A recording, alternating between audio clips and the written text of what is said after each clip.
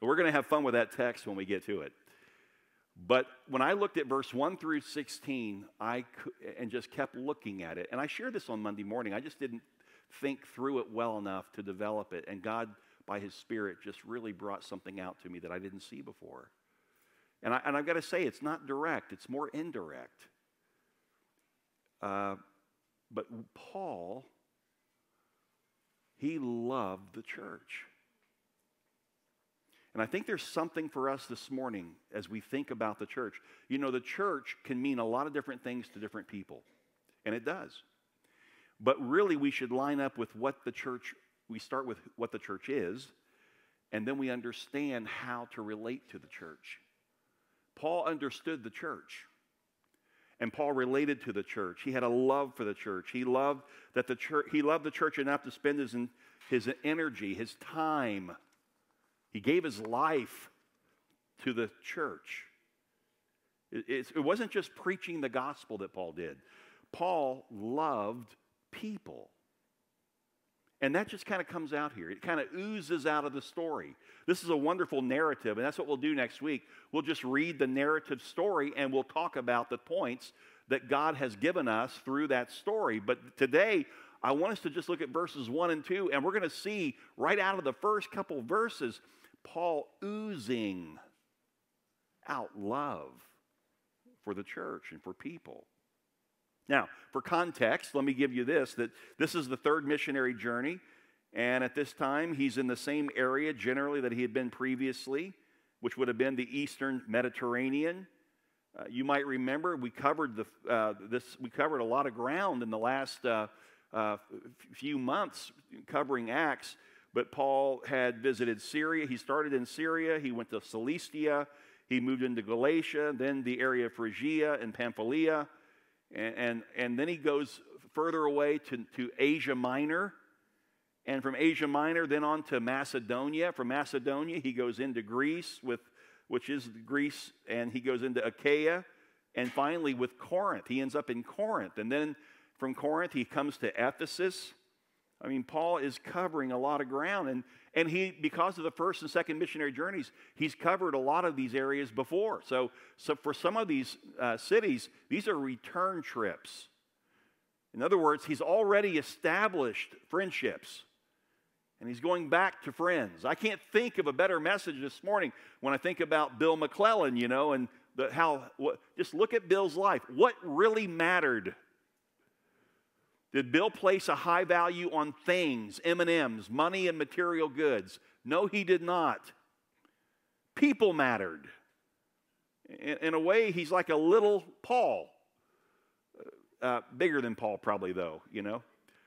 But, but people, it's about people. And that's what we see here. But there's one change that takes place in Paul's approach to ministry on the third missionary journey, and that is he starts staying longer at different places. Before he would pass through, he'd stay long enough to win some souls to Christ and then raise them up to be elders in the church, and then he'd take off. Now, all of a sudden, he's, he's staying for three uh, years in Ephesus. Why? What changed? What changed is Paul now knows his future. He knows that at some point in the future, he's going to face death. He knows that his days are numbered. So all of a sudden, he focuses in on what really matters, and that is pouring the love of God, the Word of God into the people that God brings him to. And so in Acts 20, verse 1, I just want to take the first little phrase there. After the uproar ceased, for context, we need to understand what Paul is thinking in terms of his future. And he came into an uproar in, in, in Ephesus at the end of that time. But Paul's desire is to leave Ephesus and go to Jerusalem. And from Jerusalem, his desire has always been his, uh, his desire was to go to Rome. And then from Rome, it says that he wanted to sail to Spain.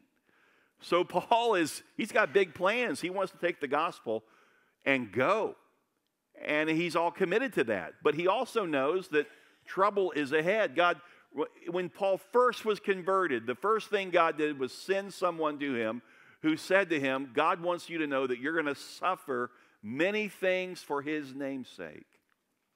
In other words, your life is going to be a drink offering. You're going to suffer. You're going to sacrifice for the sake of God's purpose and calling. And, church, I want you to know this God's calling, his greatest purpose on this earth, is always focused on people. We're a church without a building, we're a church without walls. But we'd love to have a building one day. We'd love to have some property, wouldn't we? That's something we're saving money for. But I got to tell you, that will not be the, the, the focus of our church. It can't be. It has to continue to be giving the Word of God to people. That's really what matters. But this point here is made. Paul is thinking that this is the last time he'll see his spiritual family. What I mean by that is, Paul sees himself as a spiritual father. And so he's spending extra time with those that God has raised up through his ministry, those who God has saved. And he wants like a spiritual dad to pour into them. Just try to catch the, the beauty of that, the picture of that. Paul is a spiritual father. If I could give you just a picture in your mind of how God has created and wants the church to function, let me give it to you. By the way, church is not, again, buildings, it's not money, it's not projects. Church is people. And it's not just any people, it's saved people. The church is not unsaved people. We invite unsaved people for the purpose of them being saved so they can be part of God's church, the church's people. And Paul saw that. And here's a beautiful picture you start out as a babe in Christ when you're first saved. Isn't that wonderful? You're a little baby in Christ, spiritual babe. And we, all know what little babes do little we have babes in our church they make poopy diapers and when you first get saved you make a few mistakes. And you don't know better. Why? Because you're just new in the faith. And so for you you're just so raw and hungry for god. And and you don't look the way maybe some people think you ought to look. And you don't talk the way they talk and whatever. But you're saved. And as a babe you, you have two options. You can, you can stay as a spiritual babe in the early days of your walk with God, or you can choose to be not just a babe, you can turn into a brat, a spiritual brat. A spiritual brat is someone who never grew up in the faith. They still walk around with a pacifier in their mouth. They're not growing in the Lord. And God wants you to grow. He wants you to go from being a spiritual babe to a spiritual young man or young woman. And he outlines this in the scripture that a young man and young woman, they know enough about the word to defend it. They know enough about the gospel to share it.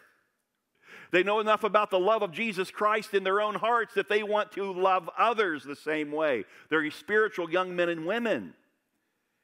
And what brings spiritual young men and women into spiritual adulthood, where they become spiritual fathers and mothers, is that spiritual fathers and mothers pour into them. If you want to see a healthy church, you're going to see a church with a lot of spiritual moms and dads who go after the spiritual babes and keep them from becoming spiritual brats, who raise them up to be spiritual young men and women so that one day they can be spiritual moms and fathers. That is the beauty of God's church when it functions in a healthy manner.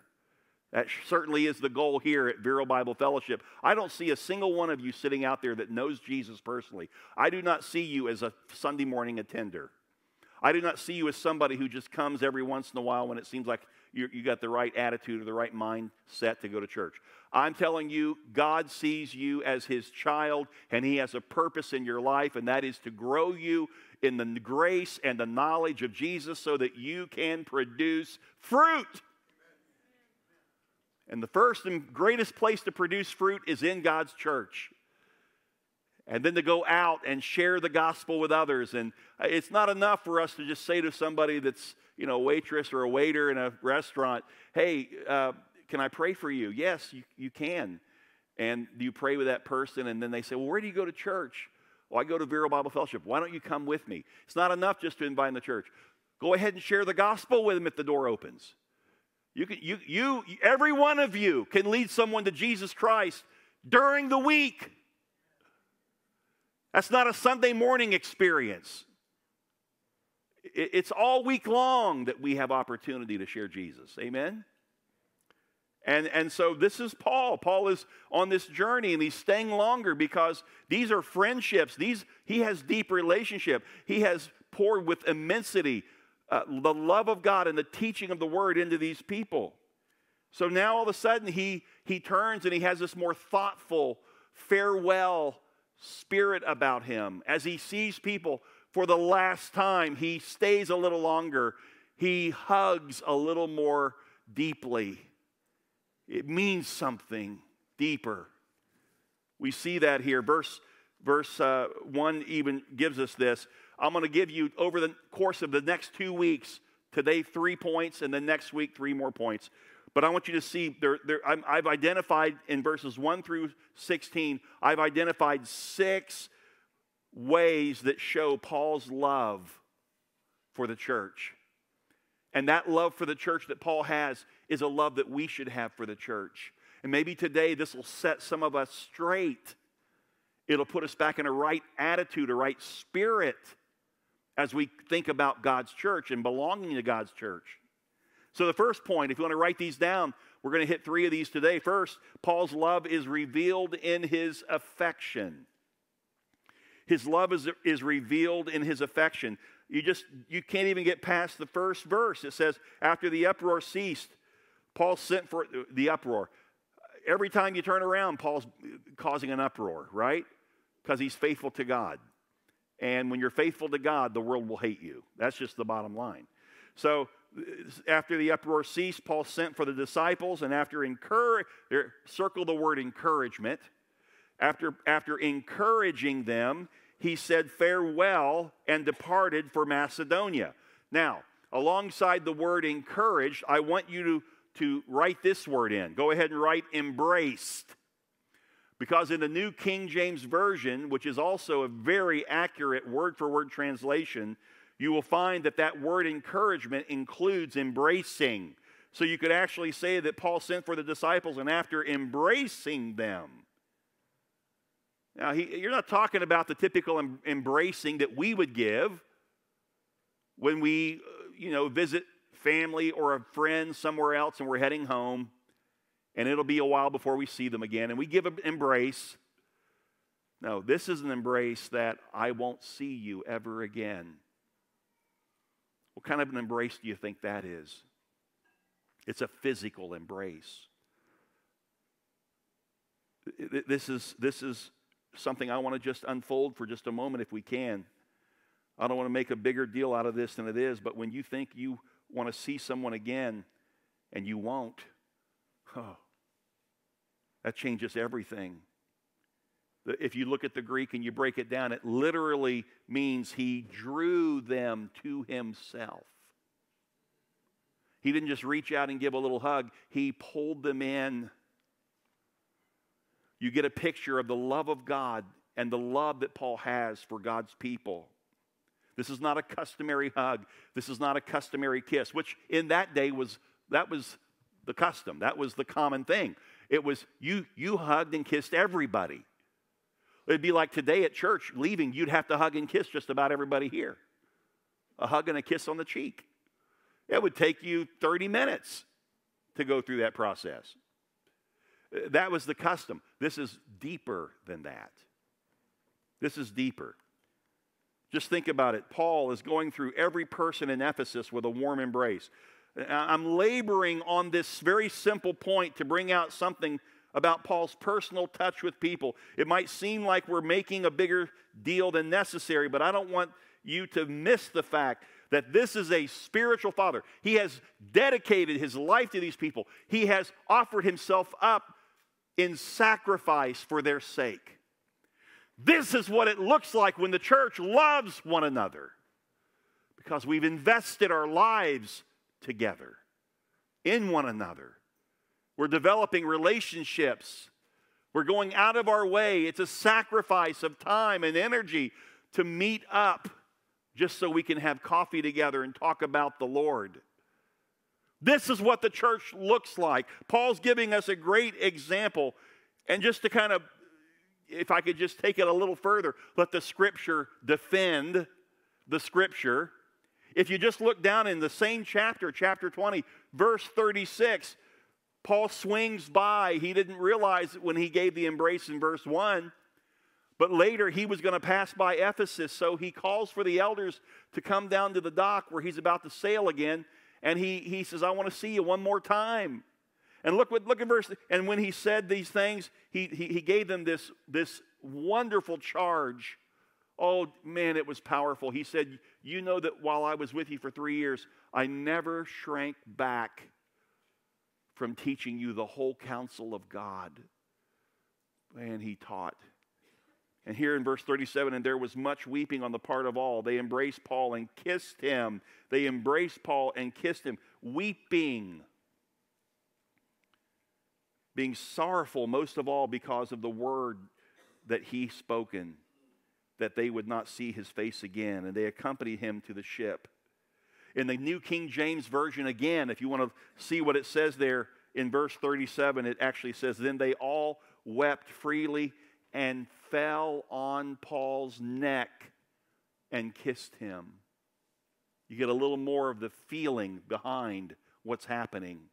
You can see that this is not just a man who met some folks and spent a little time with them and invited them to church. And no, no, this is a man who gave his life for the people that he met, poured into them on a regular, daily basis. And out of that, this deep affection just blossoms. In Romans 16 16, it says, Greet one another with a holy kiss. All the churches of, of Christ greet you. In Romans 16 16, greet one another with a holy kiss. 1 Corinthians 16 20, greet one another with a holy kiss. 2 Corinthians 13 12, greet one another with a holy kiss. For, you getting the clue? 1 Thessalonians 5:26 greet all the brothers with a holy kiss. 1 Peter 5:14 greet one another with the kiss of love. This was the evident way of the early church. Because they were so engaged in each other's lives. I know what we're fighting against as people living in this century. I know what we're fighting against. And it's hard to, to get in closer, it's hard to embrace. And I'm not talking about a physical embrace, I mean embracing a new relationship and being willing to be discipled and to disciple others, to build those kinds of healthy relationships. But that is really what church is for. God never intended church to be a Sunday morning gathering and then go home and live your life this week and then come back the next Sunday. Uh, you, you, you following me? So, first, Paul's love is revealed in his affection. Secondly, second point, Paul's love was demonstrated in his giving. And by the way, these are progressive. You move from affection to giving. What was Paul doing on his third missionary journey? Well, he's collecting money for the church back in Jerusalem. Why? Because Jerusalem is where the church was started. That's where the, the, the kaboom took place. You know, the Holy Spirit shows up and people are getting saved. The first sermon Peter, preaches, 3,000 people get saved. And just a few verses later, it says, and multitudes are being saved. You couldn't even count the number of Christians. And these were people who had come for, for, uh, for Passover, stayed for, Pente- uh, for Pentecost, the Feast of Pentecost. They've come from all over the known world, Jews. They've gathered. Now, because they're saved, they can't go home. Why? Many of them can't because uh, my livelihood was in the Jewish community. They, I will not be accepted back in the Jewish community. I'm a Christian now. So they stayed. And so the Christians in Jerusalem took them into their homes. People are, are, are having to share space in homes.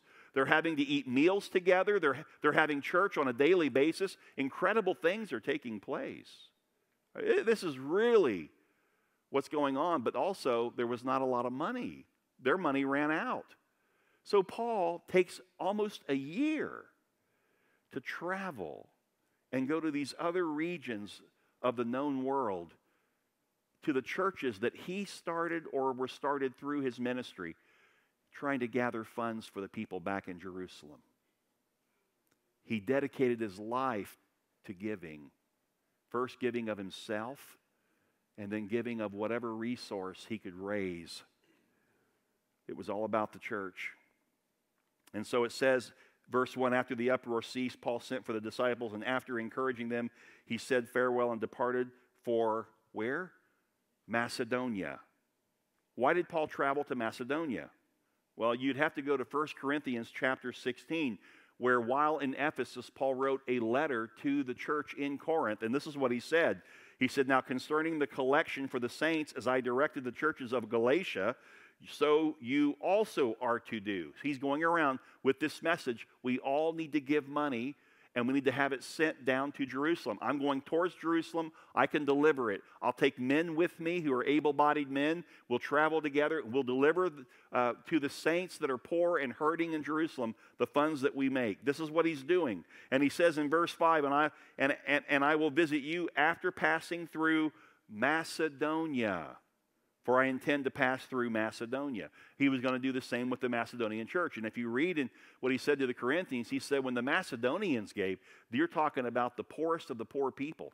And he says, they welled up in liberty in their giving. These are poor people who have nothing, and yet they welled up in liberty to give to the church in Jerusalem. Wow. And Paul is leading this charge. Paul was out fundraising for almost a year. You can always tell a man's love by his sacrifice. Paul spent much of his own life earning his own living by his trade, leather craftsman, making tents and other things. And even though he made sure to say that he had every right to draw his income from the church, which he did, and he did often, but in some situations, he did not draw an income. He went and worked as a tent maker. Why? Because I don't want them to think that somehow I'm here to get money from them. I'm not a charlatan. And so he would allow other churches and other places to actually send him money in some of the places that he thought were holding him suspect. But he had every right. And yet he, he never sought for his own he only sought to help others. Ezekiel 33 31 says, With their mouth they show much love, but their heart goes after covetousness. In other words, some people talk about love, but they covet. Covet is the opposite of love. Love gives, covetous takes. C.S. Lewis, he wrote this. He said, It's easy to be enthusiastic about humanity with a capital H. It's a lot easier than loving individual men and women. Loving everybody in general is an excuse for loving nobody in particular. See, it, it, starts with love, it shows up in affection, and then it comes out of you in giving. I'm not talking about giving money to the church here. I'm talking about giving yourself to people. Giving is always tied to loving someone. 1 John 3:16. Write that down. 1 John 3:16. Let me give it to you. By this we know love, that he laid down his life for us. God loves us and proves it by laying down his life. That means Jesus was all about self-sacrifice. Now watch the latter part of the verse in verse 1 John 3:16 and we ought to lay down our lives for the brothers. Jesus laid down his life for those that God would save. We are to lay down our lives for those that God saved. For the church first then the community. The supreme measure of our sacrifice of love is to be willing to give our lives to the cause of Christ. Some Christians aren't even willing to give their time, let alone their life. They, they might throw a little money towards something, but there's no sacrifice in it. They won't even give their spiritual gifts for the sake of others, they only use them for personal gain. Church, listen, we are called by God to lay down our lives. 1 John 3 17, the next verse. 316 we read, verse 17. But if anyone has the world's goods and sees his brother in need, yet closes his heart against him, how does God's love abide in him? How do others know that you are filled with the love of God? Because when there's a need, you will come to help. When there is a person who's hurting and wounded or depressed or whatever it would be, you will check in on them. You will call upon them. You, you look at people who are growing in Christ and you're like, man, I love what I'm seeing. Can I come alongside you? Can we grow together? Can we start meeting up? I want to develop a relationship with you. Don't say you love the brethren unless you meet the need of one of the guys or gals that's sitting across from you or that you run into this week. Interestingly, when you think about the Good Samaritan, he saw his demonstration as an act of love, but love as an obligation. He felt obligated. There was no way that Good Samaritan was going to pass by and leave that man in the ditch. It was an, his love was an obligation. For the priest and the Levite, not so much. We don't, listen, church, we are to be those good Samaritans. It's an obligation for us. Good Samaritan saw his demonstration as obligation. God isn't interested in our sentiments, God wants our sacrifice. In the next verse, he says, Little children, let us not love in word or talk, but in deed and in truth. What's the greatest way we can love? By doing and by teaching. Doing and teaching, that's the greatest manifestation, demonstration of love. So giving is inseparably tied to loving. You can't say you love God unless you're willing to make a sacrifice. So Paul was a true giver. Here in Acts, we see him running all over the known world collecting money for the hurting saints in Jerusalem. It cost him everything to do it, and he doesn't care. He's going to be faithful. And thirdly, Paul's love was revealed in his teaching. Look at verse 2. We're only covering two verses this morning, but no apology given. This is such rich stuff right here. Acts 20, verse 2 When he had gone through those regions and had given them much encouragement, he came to Greece. Paul proved his love for the church by the effort he spent in teaching. Everywhere he went, the first thing Paul would do was make a beeline, if they had a temple, make a beeline for the temple where he could reason from the Old Testament scripture who Jesus is Messiah.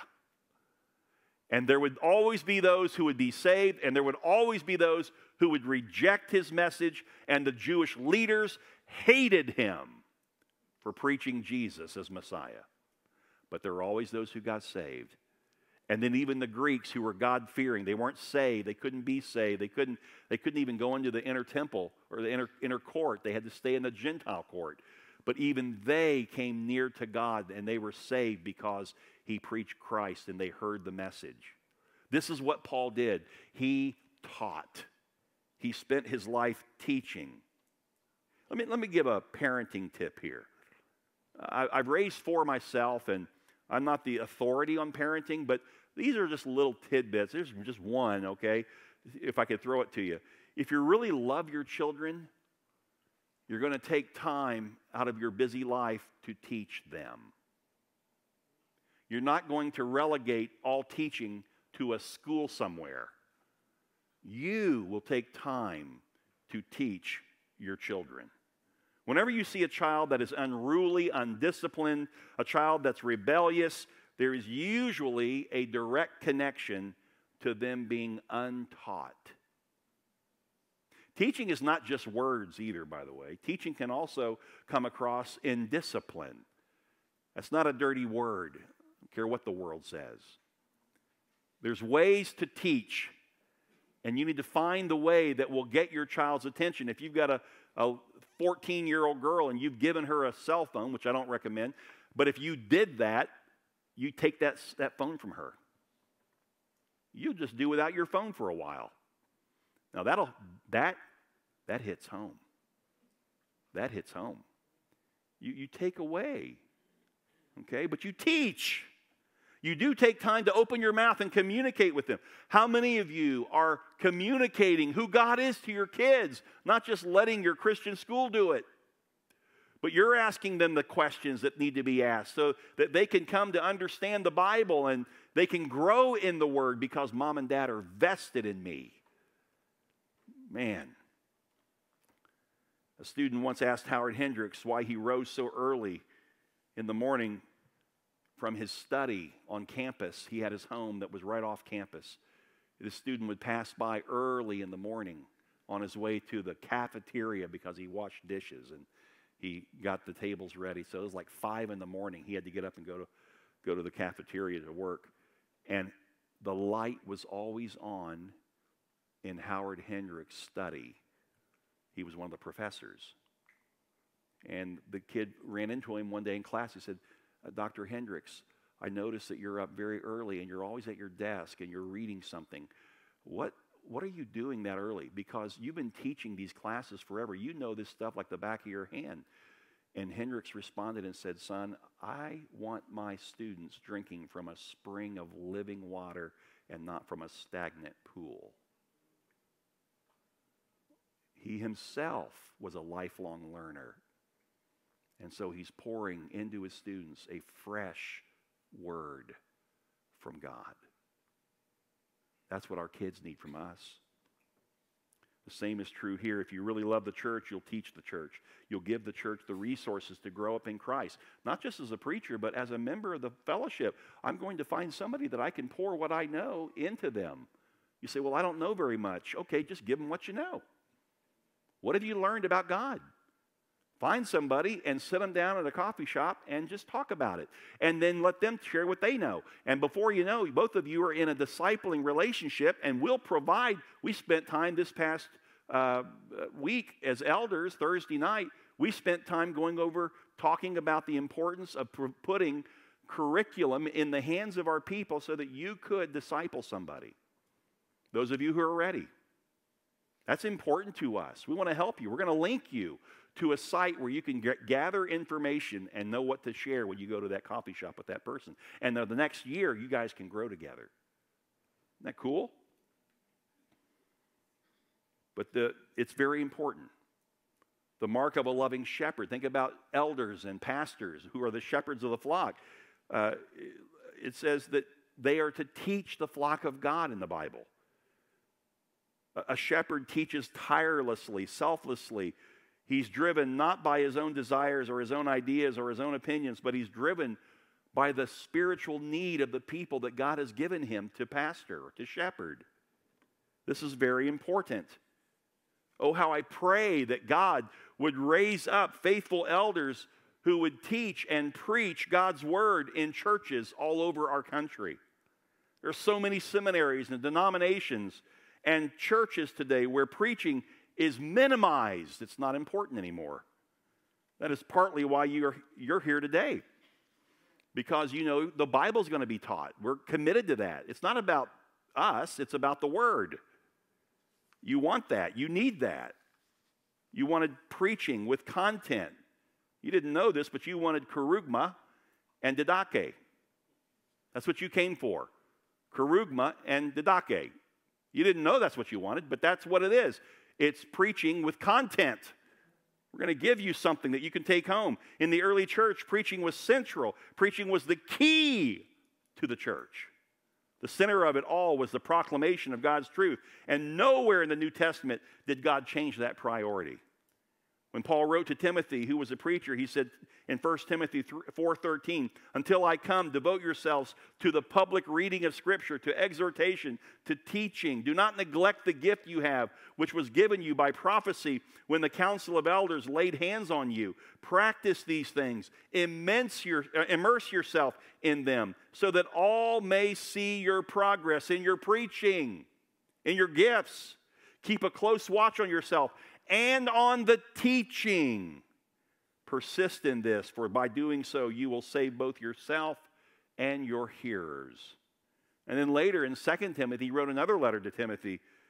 And, and, and it's almost as if he forgot to say it the first time, which he didn't, but he, he reinforced it. He said in uh, 1, 2 Timothy 4, Verse 1 I charge you in the presence of God and of Christ Jesus, who is to judge the living and the dead, and by his appearing in his kingdom.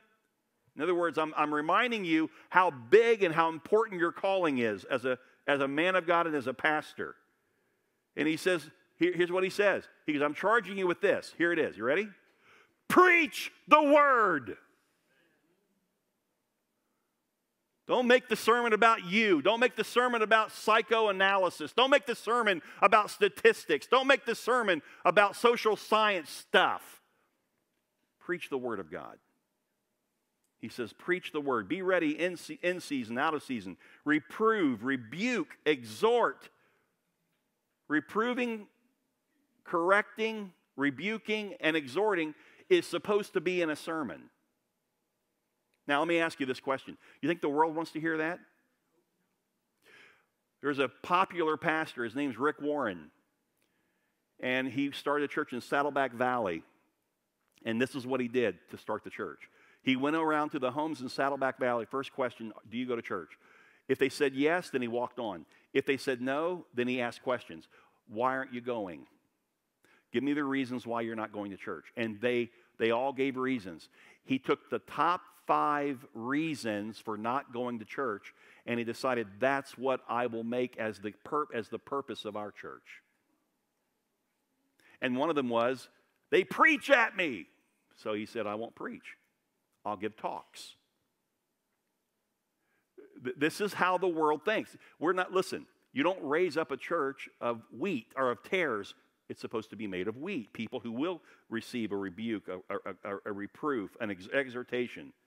He says, with complete patience and teaching. For the time is coming when people will not endure sound teaching, but having itching ears, they will accumulate for themselves teachers to suit their own passions, and they will turn away from listening to the truth and wander off into myths. As for you, always be sober minded, endure suffering. There it is. Do the work of an evangelist, fulfill your ministry, Paul is saying to Timothy. That's what we need. That's, that's how you love the church. You teach the church. But there's a digression today. Preaching is not happening. I think one reason why it's not happening is because a lot of pastors and a lot of churches no longer believe that the Bible is authoritative. It is not God's word, it's got errors all through it, blah, blah, blah, blah. In the original text, it is flawless. There are no errors. And we see it as the Word of God. And we teach it. See, if you didn't think it was God's Word, you wouldn't teach, would you? Why would you teach something you don't believe in? But God calls us to believe it. He calls you to believe it. And because you believe it, that's why you, that's why you want to be a disciple. And that's why you want to take time to disciple others, that the love that's in you would come out to others. Another reason why churches today minimize preaching is because of the abuse that's taken place in the pulpit down through the decades. Pastors who use the pulpit as a whipping post, pastors who would verbally spank their congregations on Sunday morning, pastors who would get up and use it as charlatans to get money from people. It's been, it's been misused. The pulpit's been misused. And that causes people who have intellect, people who come out of an educational system, to look at it and go, hmm, that's not working. And so then they come up with a different approach. And they move away from true preaching. It's like going from this, and here's good preaching. They go from here, skip that, and get up here on the other side. Now, what you end up with is sipid preaching. Sipid at best. It's, it's benign, there's no authority to it. Big church in town. This is true story. Big church in town. And the pastor told, of that church, told another pastor that, uh, you know, I used to be a Southern Baptist. He said, Really? What, what happened? You know, why aren't you a Southern Baptist? He said, Well, I used to be a Southern Baptist back when I believed that Jesus was God. He no longer believes that Jesus is God and has one of the biggest churches in town. You see the problem? Wouldn't it be wonderful if we had movies and musicals and all kinds of new materials and new media things in our church. How exciting that would be. Wouldn't it be wonderful if pastors were more like showmen and got up and just really, eh, just, you know, held our attention? Not what the word's for. The word is for you to grow spiritually, not to be entertained in the flesh. God help us. I shared the story with you, how true it is. The church in Southern California, back in the 70s, they were always wanting to do a new thing for Christmas, a new show, a new presentation. They put hundreds and hundreds of thousands of dollars in their musical presentations. And this year, they came up with something called the Living Christmas Tree. The first church to ever do it the living Christmas tree. And they did it. And everybody was wooing and on and all over Los Angeles. And guess what?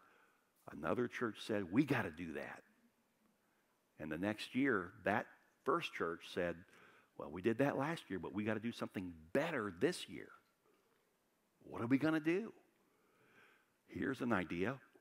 Let's have an angel that comes out of the ceiling. We're talking a church that's huge with a high ceiling, and he'll land on the final song. At the right moment of the song, he'll come out of the sky and he'll land on the top of the Christmas tree and light up. That's what we'll do. So they rigged everything, got the pulley system just right. Night of the first show, show. And they had some guy up there as an angel. Halfway down to the tree, all of a sudden there was something that caused a jerk in the rope that he was on the line, and it caused him to flail. Can you imagine the scene? An angel flailing, an angel that can't fly. And, and he started moving so much, the thing started going forward, go back, go forward, go back. And now he is freaking out and he's getting sick. And he would come out over the crowd and yell out, Get me the blank down from here. And finally, no kidding, I'm not making this up. May that always be the case when we move away from sound biblical teaching and we have to move into the entertainment and move into other contextualization and things in order to make church interesting. God help us. God help us. Father, this morning I want to thank you for your word, and I thank you for the Apostle Paul because of the great gospel that saved him for the rest of his life he saw himself as a living sacrifice. And he preached that message to the believers that all of us are called to be living sacrifices. That is our spiritual act of worship. And Lord, we, to love the way Paul loved, to embrace and have affection the way Paul did, we first have to have relationship that's that meaningful, deeper level relationships where we've invested in one another and where if we knew we wouldn't see them again, oh my, that embrace would be different. We pray, Lord, that today you would just speak to our hearts and we would see our place in the church. To not only love the way you loved and, and, and demonstrate that love in activity, but Lord, also that we would love your word and we would share your word with others. We would, we would begin to build discipling relationships. Some already do, are already doing that in such a beautiful way. We thank you for that. It's happening in our fellowship. You're awakening this congregation through the Acts series, but Lord, we don't want to stop halfway. We want to go all the way with what you're doing and what the church is supposed to be doing. So continue to guide us, Lord, by the Holy Spirit that we would be a true church in this modern day and that people would be saved and they would be transformed and sanctified by your work. We pray this in Jesus' name. Amen. Please remember that we are going to have an opportunity to embrace and love Jackie and, and care for her and show by our words uh, how much we love her. And then in a few weeks, probably the second week of September or the third week, I'm not sure, right in there, we will show her by our giving how much we love her, okay? God bless each of you. Uh, they've set up back in the back. They've got some, some beverage, they've got some light snacks. So, Jackie, if you can make your way back there, uh, good. She's already back there. Great. And you can go and say, say what you want to share with her, okay? God bless each of you. Good to have you today.